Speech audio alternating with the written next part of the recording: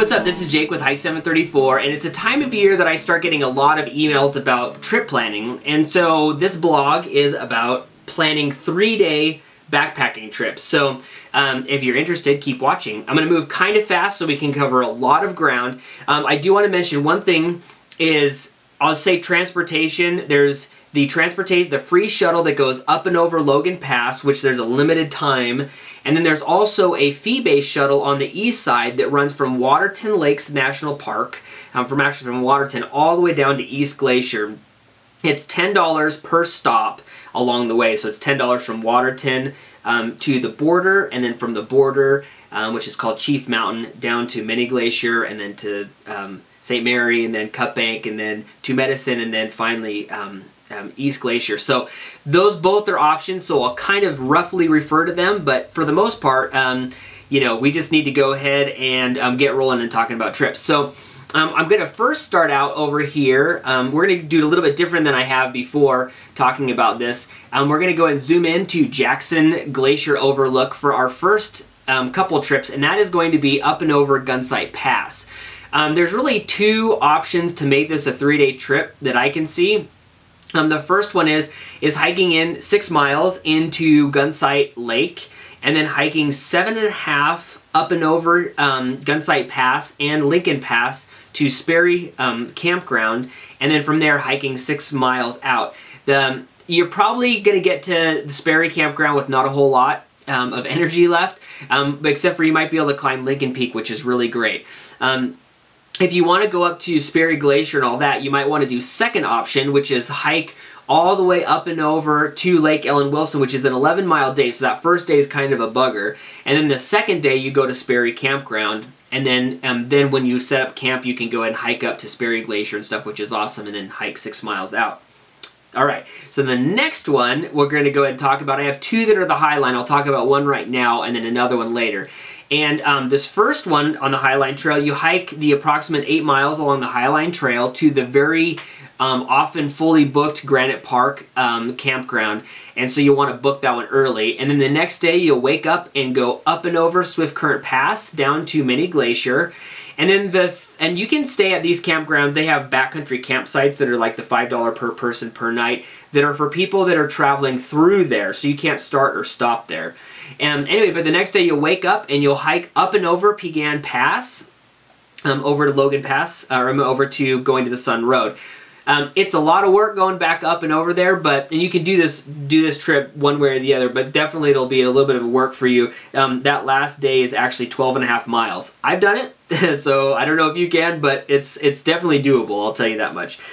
Um, so while we're in the Many Glacier area, we're going to talk um, about using Poia Lake quite a bit. Um, if you hike um, to Poia Lake the first day, that's six and a half miles, and then the second day go up and over Red Gap Pass down to Elizabeth Lake. And these are, I mean, that from Poia Lake to Elizabeth Lake is ridiculous. It's so beautiful. Um, and that's about 10 miles. Um, if you want to, um, because like the foot of Elizabeth Lake is booked, you can go and hike to the head of Elizabeth Lake, and that'll only add like a mile or a mile and a half to your trip. And then the next day you'll go ahead and go up and over um, tar through Ptarmigan Tunnel back to Many Glacier, and that's um, 10 and a half miles.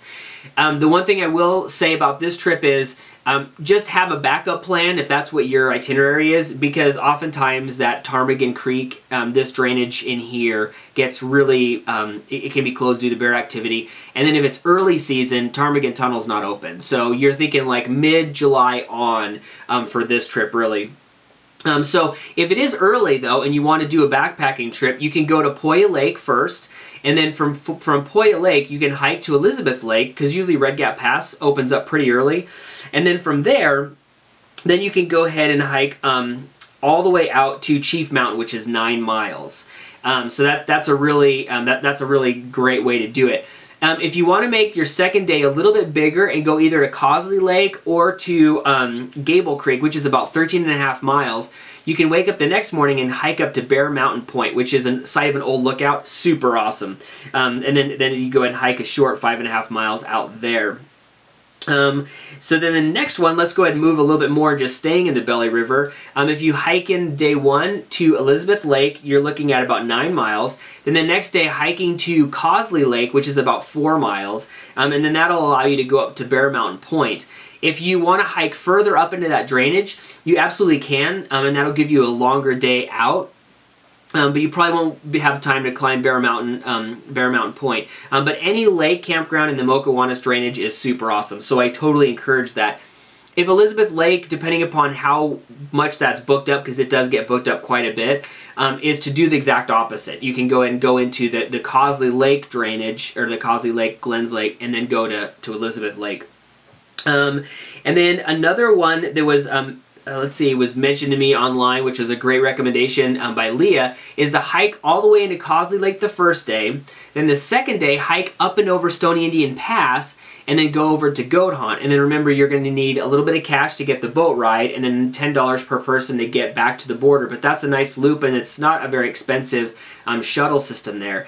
Um, another option on that, if Stony Indian is booked, you can go ahead and hike a little bit further the first day into like head of Glenns Lake, and then hike up and over and camp at the Kootenai Lakes area. The one thing about the Kootenai Lakes area is in the springtime it's really buggy because um, it's great moose habitat. So just kind of keep that in mind. And then just kind of a last one that's a little bit of a, I don't know, insider kind of a thing, and some people probably be mad that I'm talking about this one, but Lee Ridge is beautiful, and um, it says that it's not very well maintained, but it's fine. Um, I would take Lee Ridge, um, it's about a quarter mile before the border, there's a turnoff there, and you park there and then you start hiking, and you basically hike up and over down to Slide Lake the first day, about eight miles, and then you go back up and over and then spend the night over at Cosley, which is another eight miles, and then you go ahead and, and hike on back out, which is eight and a half miles back to Chief Mountain.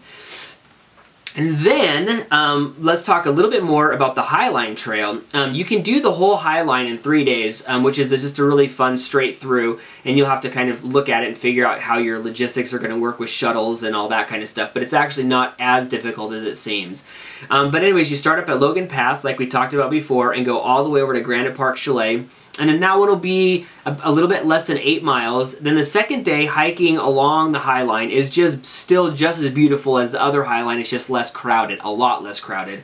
And then you'll get to 50 Mountain, and 50 Mountain is just a wonderful, wonderful campsite. One of my favorite in the park. Um, you're right sleeping up against the cliffs. You're looking out at mountains. It's super, super great. Um, but that's about a 12 mile second day.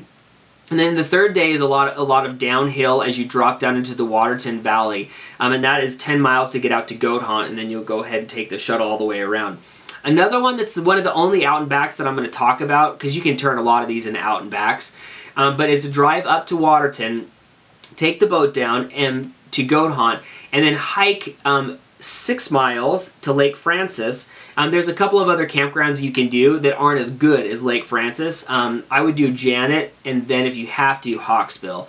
Um, but the main, the cr crown jewel of this trip is going up to Hole in the Wall, and that's only four miles from Lake Francis, and you just get to hang out there, and then the last day you just hike all the way out, and that's 10 miles. Um, and then kind of while we're hanging out up here in the old um, North Fork, um, briefly I'm just going to say if you do a lot of the North Fork stuff, logistics are hard. Um, out and backs don't really make a lot of sense for three days, so you really need to kind of do a through hike, so probably a key swap. Um, if you can pull that off with Goat Haunt, here's how I would recommend to do it. Um, go hike up to Upper Kintla if you start at Kintla, and then do either Boulder or Hole in the Wall, and then hike out to Goat Haunt. Um, if you do Bowman, you'll um, start at Bo the head of or the foot of Bowman Lake, hike up to the head the first day, then you'll hike up to Hole in the Wall the second day, and then you'll go ahead and hike it out. Um, other than that, it's really difficult to kind of do an out and back on that one. Um, and then there's just kind of an honorable mention up here. Um, a Quartz Lake Loop um, was referred to me by Kyle, and I, I laughed about that one because it's not really my favorite hike. Um, in the springtime, it's pretty buggy, but it does get open a little bit earlier. But for that one, you hike starting at the foot of Bowman Lake, up and over Cerulean Ridge to Quartz Lake the first day, Lower Quartz the second day, and then back over Quartz Ridge um, to back to your car. So now we're going to go ahead and take the really long trip um, all the way down to the south um, east corner in Two Medicine, which is just a super great area that I just I absolutely love um, this this this section. And so um, the first one we're going to go ahead and talk about in Two Medicine um, is we're going to go ahead and do um, the Dawson Pitam the Dawson Pitamakan loop in slow motion.